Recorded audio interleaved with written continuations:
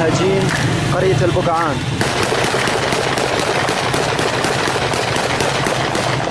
مسائية الشهيد المجاهد البطل سالم صباح البرق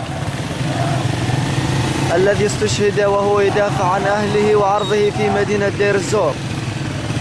تاريخ 19 2012